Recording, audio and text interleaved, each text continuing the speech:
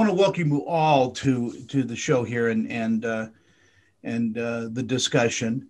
Uh, Barefoot, the Mark Baumer story is is just breathtaking, if I could use that word. Uh, Julie, how did you happen upon the project?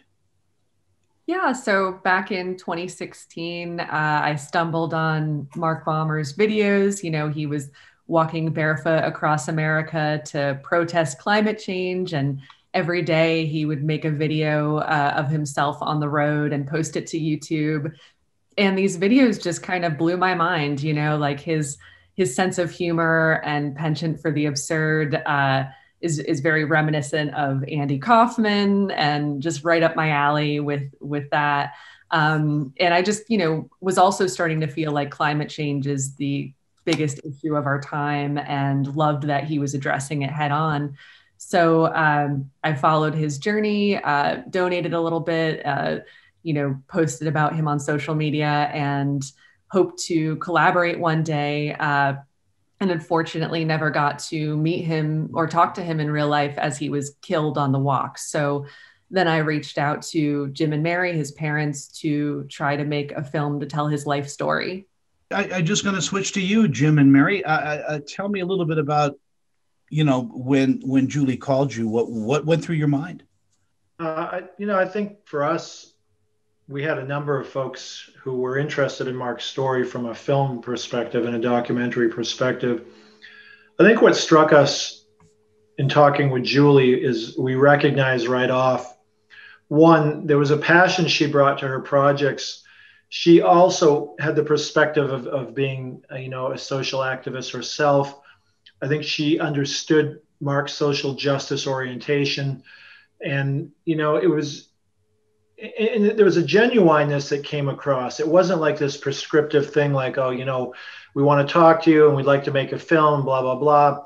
And you know, I mean, there were certain people that were kind of off-putting, to be quite honest with you. And I, I get it. Not everybody may have the greatest social skills, but for two grieving parents, for anybody to come and reach out to them and ask about making a documentary, you know, weeks and months out from the death of their only son, uh, it is kind of a sensitive time. And and I think Julie was the one that we felt most comfortable with, especially when she sent us links to a couple of films she had made, uh, you know, Aspie Seeks Love and um, Woman on Fire you could tell there was a, a, way that she made films that we could see she would take Mark's story and do something I think really special and unique with it. And and obviously our our our, our I guess our, our sort of thoughts at that time and our intuition has been shown to be right because it is a film that you know we sit and watch and say wow it's just an amazing film there's nothing in it that we would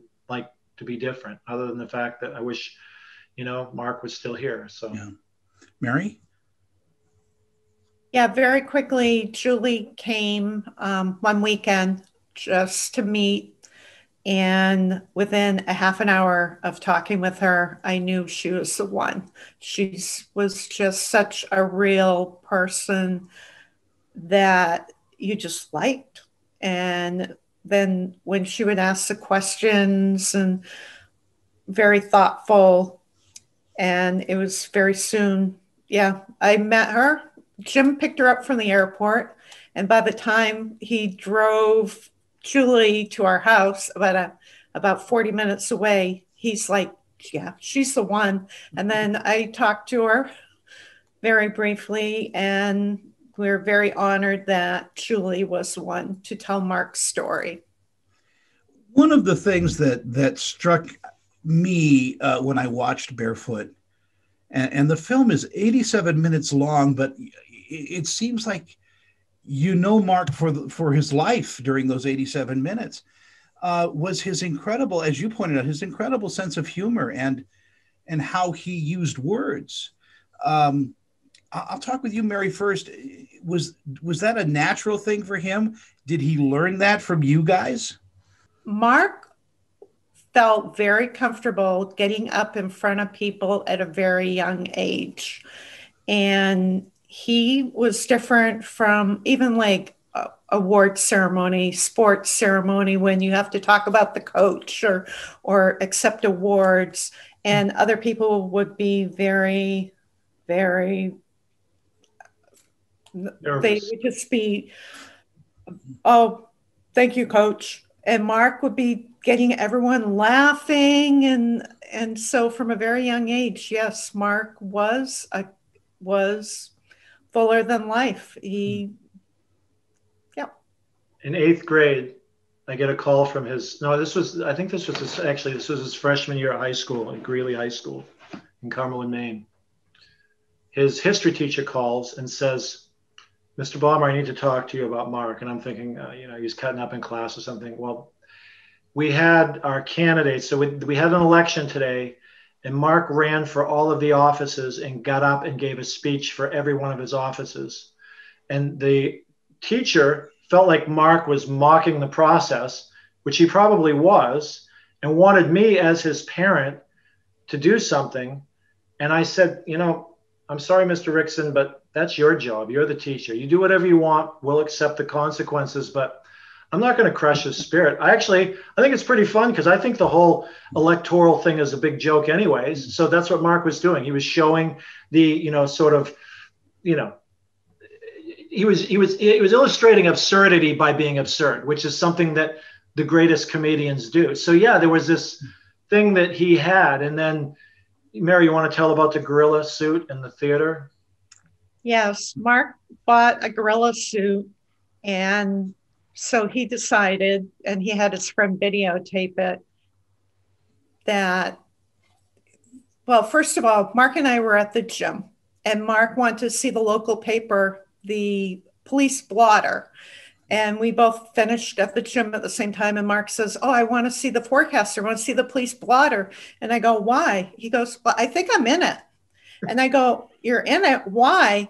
Well, I wore my gorilla suit into the movie theater and Brent videotaped me and Mark was picking up trash cans mm-hmm. and and I don't know if he was dumping them on, but he was just being a gorilla and they quickly left before the police arrived. and it did make the police blotter. It yes. Julie, it in putting together someone's life like this and, and, and, focusing on, of course, the activism for climate change, the walk, there's got to be a lot of stuff that you didn't include. Was there something that you wanted to include that just didn't make the final cut?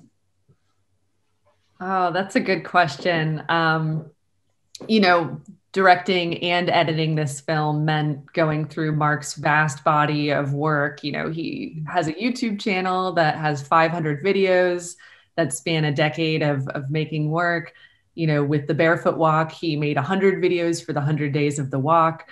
Uh, so I think there were just moments of the walk that I wished I could include more of and more of his sort of like philosophical musings. Um, and you know more more people that we could have interviewed he had a lot of different folks in his life we interviewed his his girlfriend but there were other important relationships you know i wish we could have gotten to um, but I'm glad how we kind of kept things focused on like, you know, eight key interviewees that kind of represented different aspects of of his life from, you know, a, writing colleague to a colleague at the Brown University Library, you know, his girlfriend, his parents, um, and the activist activist group FANG, uh, which stands for Fighting Against Natural Gas.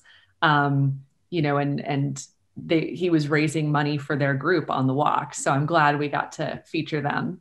As a father too, you know, and and we look at our kids and and sometimes we roll our eyes and go, "What what the hell's going on here?" You know, and other times we're extremely proud of the people they become. I imagine the latter is true for you. Your son was an amazing uh, person and and really stepped forward for what he believed. Yeah, I mean, I, you know, I think it was a process with Mark. I mean, there, I think there was a, a time in his life where he was quite apolitical. You know, he was an outstanding athlete. You know, he was a college baseball player. He was first team All New England. His team went to the College World Series and came within one game of a national championship in his senior year. Um, you know, there, I think he, if he wanted to, he could have probably played some independent professional baseball. I'm not sure if he was quite good enough to catch on with an affiliated team, but he was a really good hitter. He was a tremendous, you know, worker. He worked really hard at everything he did, including his writing. I think he brought that same real determination that he, as an athlete, to sort of work himself to a point where, you know, because his college coach after his freshman year told him, you know, Mark, you're a great kid, you're a hard worker. I'm not sure you can play here. And most kids would have said, okay, fine, coach, I quit. Now, Mark just hit the gym harder, hit off the tee till he had blisters on his hands, and found a way into the lineup as just the first right handed pinch hitter off the bench. You know, in, in Florida that sophomore year, he had seven consecutive pinch hit appearances where he got hits. He was seven for seven. So the coach had no choice but to put him in, you know.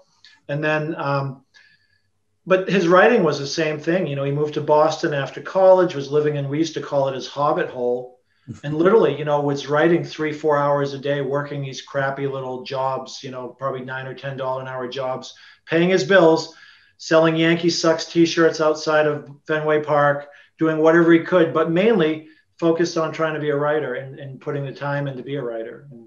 Mary, your son was an amazing human being, and and I am so sorry that his life was uh, was cut so short. And because I think of a future that you know we need more marks in it. We need people like this. So uh, my heart goes out to you, Mary.